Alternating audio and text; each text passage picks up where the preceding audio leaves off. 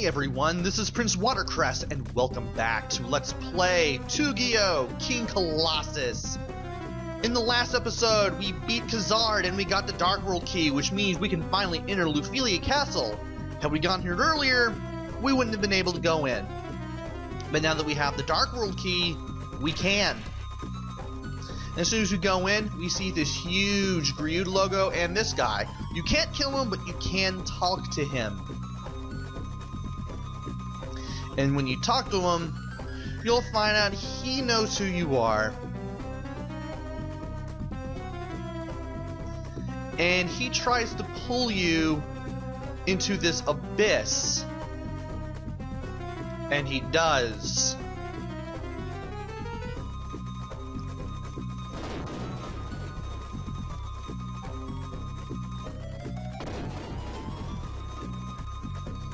And we're now inside this black and white nightmare.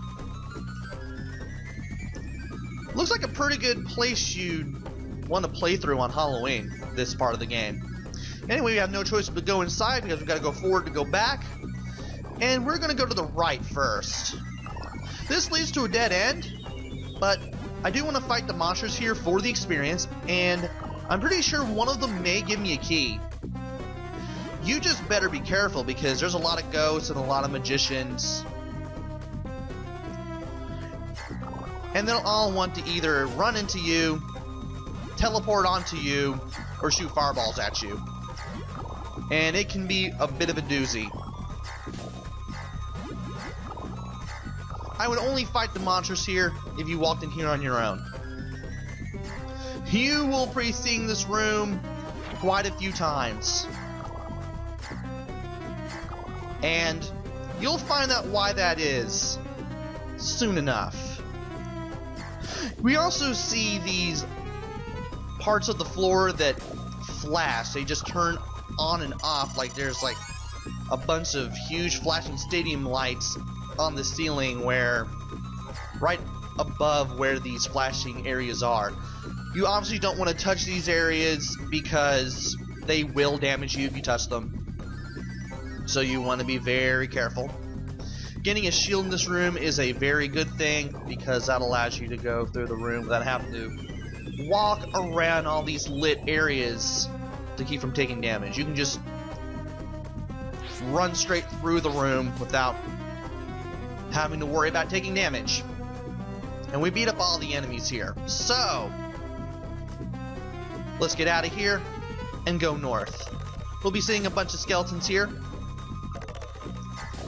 Nothing to be worried about too much. But we keep hearing something shoot fireballs somewhere in this room. You want to think it's the wall monsters that we've seen earlier, in earlier parts of the game, but no, it's this thing.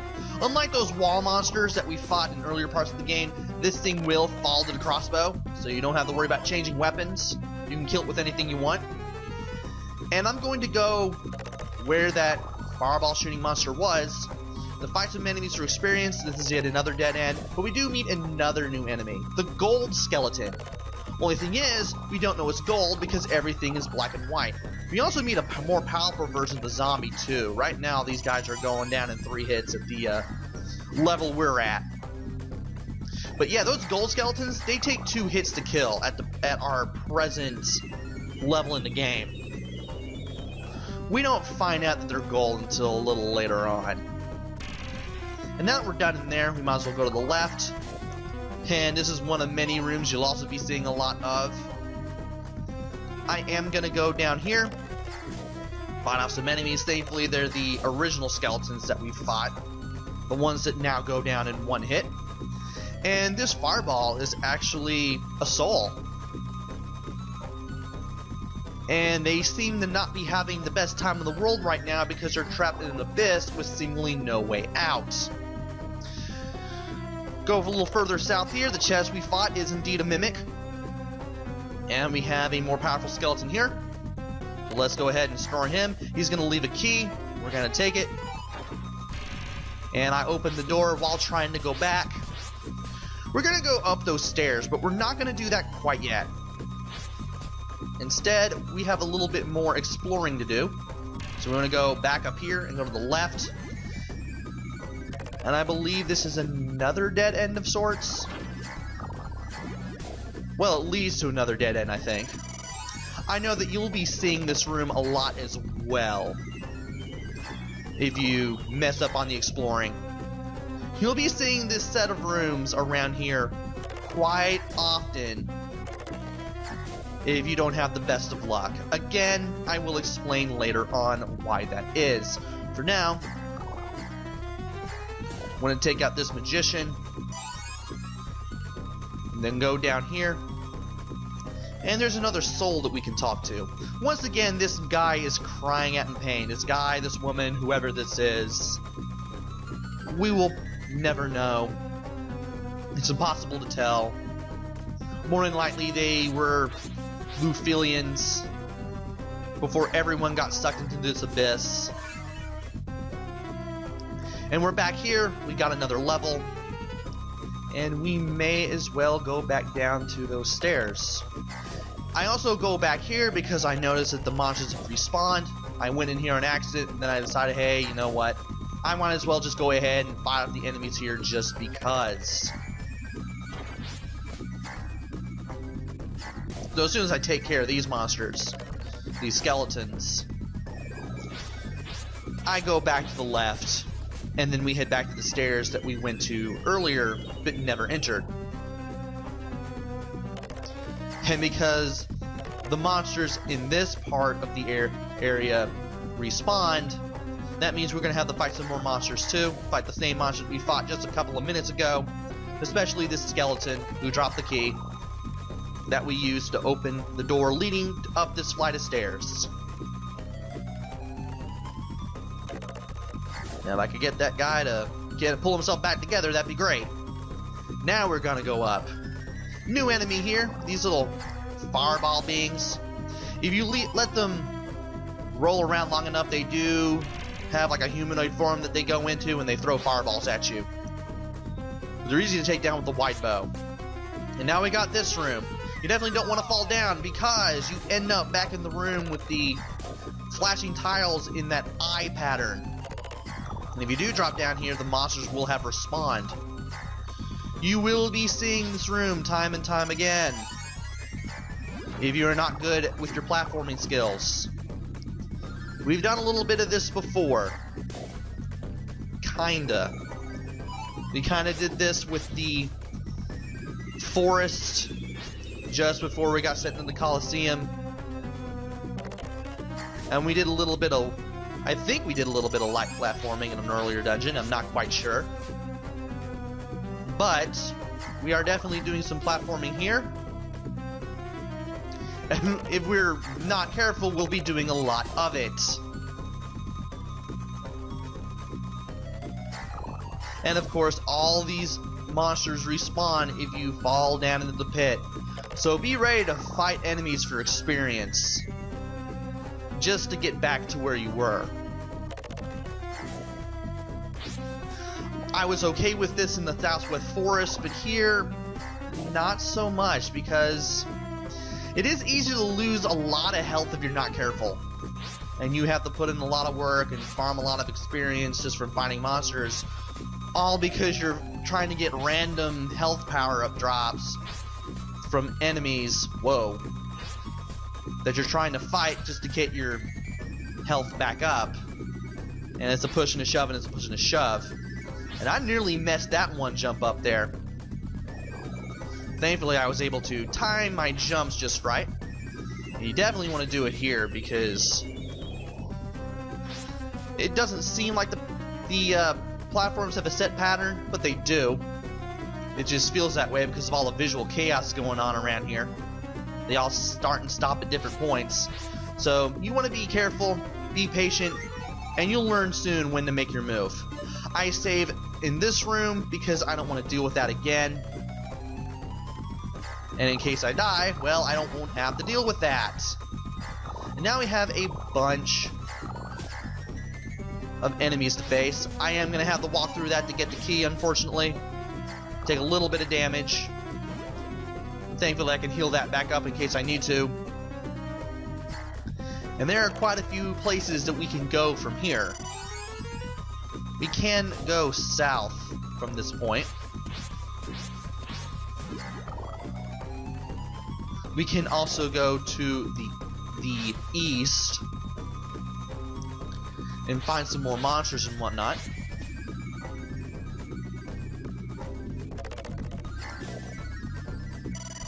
Couple of skeletons. Thankfully, one of them dropped a full health pickup, and we also found a soul that we can talk to.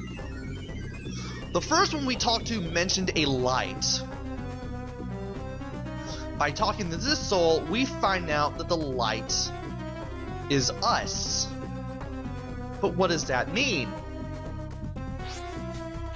And we're a prince? Well, in case you haven't figured it out by now, because we're the son of a king, that pretty much makes us a prince. But in case you haven't figured out by now, the game makes it obviously clear by the time you reach Lufelia Castle. And I managed to get two health pickups. That's pretty nice. There are also two chests in this room in particular, and they are both mimics, so don't even bother getting near them, just hit him from afar with the crossbow that you have.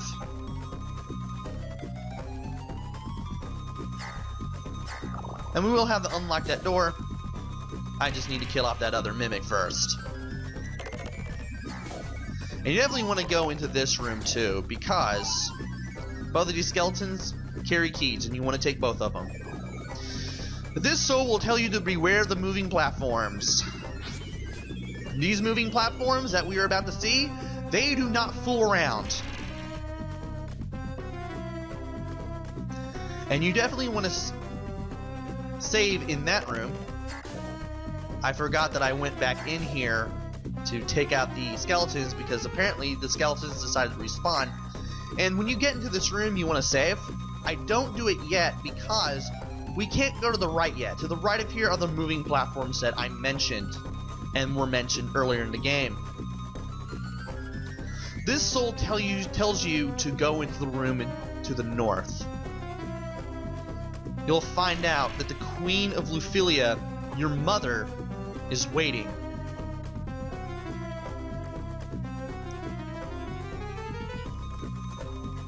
The Queen of Lufelia doesn't really do anything useful. But you want to talk to her anyway. Because if by talking to her, you'll find out your father, the King of Lufelia, is also in this abyss. But at least you get a mother-son reunion here. Mother and child reunion. And the Queen of Lufelia tells you, you are indeed the last hope for this world. And if you talk to her again, she will tell you that the king is also waiting for you somewhere in this castle. And we need to find him. We'll definitely be needing to find him. But now that we've talked to her, we finally open this open up this door to the right. We have to talk to her in order to open it up. I will save here now. Also interesting is the cursor for the menu. It is now in black and white, as opposed to having a brown handle, because this whole area is black and white. I just now noticed it during this playthrough. Now you're supposed to go south, but when I do this, I hesitate before I jump down, and I end up in this pit, and I drop all the way down here. There are two drop-off points in that pit. We already found the first one, the second one is near the end. If you manage to fall near the end, you actually land much closer to the door. As a matter of fact, the door will be directly to your left if you drop so close to the end of that section. Unlike the part with the holes in the Southwest Forest, I don't go back manually to the moving platform section here in case I fall down because that's a lot of work, that's a lot of health you'll potentially lose. I mean, you'll win out on experience, sure, if you do this, sure, but I don't recommend it. You're better off just saving in the area where the moving platforms are, So that way, in case you fall down, you can just reset the game and you can just go right back at it. You don't have the manual return there. Which, again, I recommend against doing so that you don't drive yourself up the wall. Because I did enough of that with the Southwest Forest. I got a lot of levels out of that, but not something I'd recommend doing. And if you're not good with platforming, you will be resetting and loading your save game back up a lot. So it's always good to save wherever there's a moving platform segment. Because you don't want to take the time to go down there. Because we drop all the way back to pretty much the beginning of the castle. That's a lot of ground to make back up, and a lot of enemies that you'll have to fight.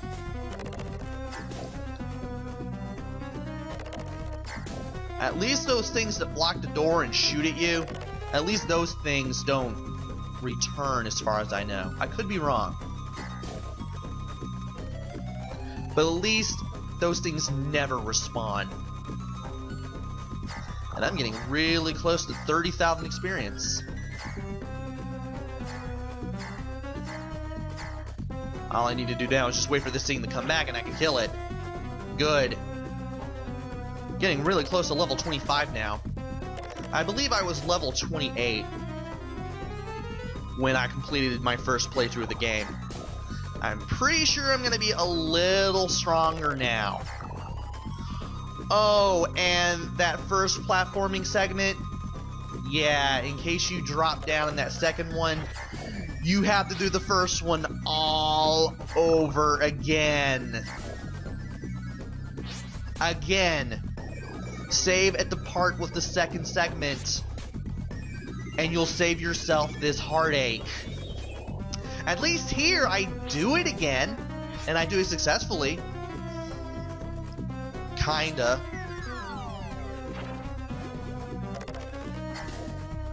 But yeah, of course, I fail because I find out I can't jump to that platform near the end from that side of the room, sadly.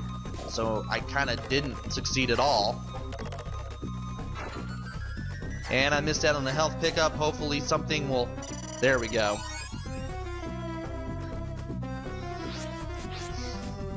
Yeah, the game isn't really generous with health pickups or any kind of power-ups that you could run across in-game. I do leave all this stuff up because, well, in case you fall in the platforming segments, you know what you have to deal with. It's not fun. That's why I keep saying over and over, when you reach the second platforming segment, save, and if you fall in the pit in there, reset and load back up. Because you don't want to go through this ever again. I know I don't. I really know that I don't. It's nice to know that the game has a couple of platforming segments. And it's nice to know that the game actually has a jump that you can change the direction of while you're in midair. But I can't tell if they really wanted to do this or if it was just thrown in as an afterthought. There's not a lot of jumping, a lot of platforming puzzles in this game.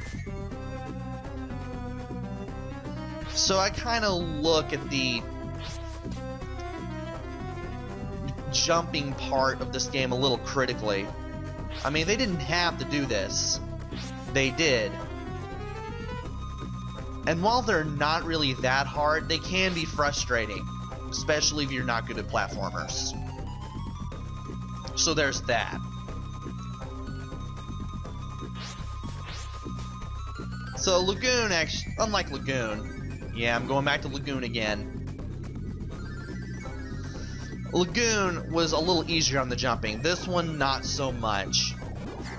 I mean, I'm glad the game takes more advantage of the fact that you can jump. And you have a much better jump that you can change the direction of in midair. It makes me wonder, did they really have to do it? I'm not quite sure. I like the fact that they gave it a try, though. And there's not a lot of it. Anyway, we're now back up here. I'm to be fighting all the monsters again. Trying to regain any health that I've lost. Getting a little closer to level 25. I jump on the flashing segment there so that I can lose health and then regain more health than I've lost. And now we should be getting close to where we need to be. Right after we face these two skeletons.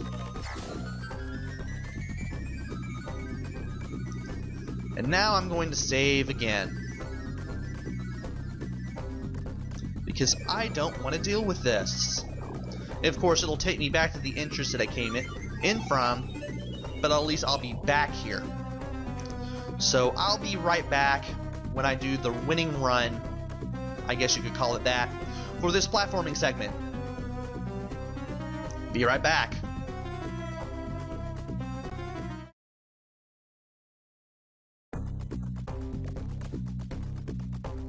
Alright. Here's what we're going to have to do.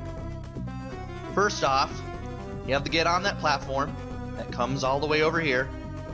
Wait for it and jump right on it. That way don't fall into the pit. Now there is a platform that you can use. It disappears off and on, but if you're quick enough, you can use it. If you think it's just to disappear on you, stay on that first platform, and then try again. Now, when you're on that solid platform on the right side of the, this little pit here, you want to get on that platform with the spike, get on the one to the left, then get to that big platform to the left of that. From here, there will be a platform moving up and down. You want to take it to the platform I'm standing on now, which will be directly to the south of that. From there, you want to move in midair and jump to here. You can land that jump. Finally got that down, but when we go up these stairs, we have a third platforming segment. Not fun. And this is where I'm going to start the next part. But when I got here and looked at my map, I realized I was nearing the end of this this area. Yeah, we're actually nearing the end. And there was a bunch of chests that I forgot.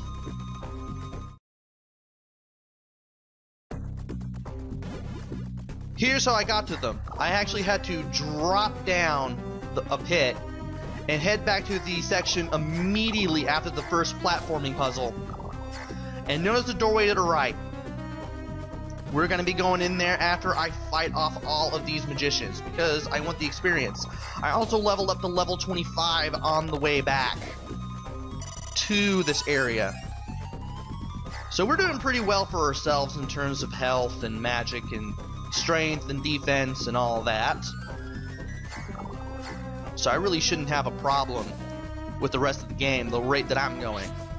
Anyway, this doorway. You want to go right into the center of it and go up. Another secret passage. It's really easy to miss. By going down these stairs, we will find a skeleton and a mimic. The good thing I used my bow first.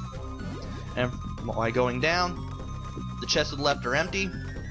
The chests to the right have medical herbs in case you need one. There's another medical herb here, I think. Yep. And there's a gray chest to the right. The only gray chest in this area, which contains the forked spear. Very powerful spear. Even more powerful than the silver lance. And I noticed the Dark World Key, so in case you were wondering what that looked like, there you go. And the Forked Spear, even more powerful than the Silver Lance. Might as well go ahead and show it off here. Kind of like the Angry Lance, except the forks are diagonal. But it's still a nice weapon to have. And you keep it in front of you for what feels like a little longer. Nevertheless, I go back to the wide bow. And I go back. I also show off a little more of my path back to the third platforming puzzle because I noticed that I got a little stronger and it showed. You're gonna find out how very quickly. Remember those zombies? Well, we're gonna have an easier time dealing with them, as you can see. Because as soon as I go into this room, I start plowing through them in one hit. Also, I start taking down the mimics in two, which is really nice. Also, that mim that zombie charged away from me for some reason. And we're getting pretty close to where the second platforming puzzle is. So I'm going to end the video shortly. I'm going to save here because I don't need to show off how to get through that second platforming part again. And that's pretty much it for this part. So join me next time where I go through even more of the Abyss. Until then, this is Prince Watercress. Take care, stay safe, and thanks for watching!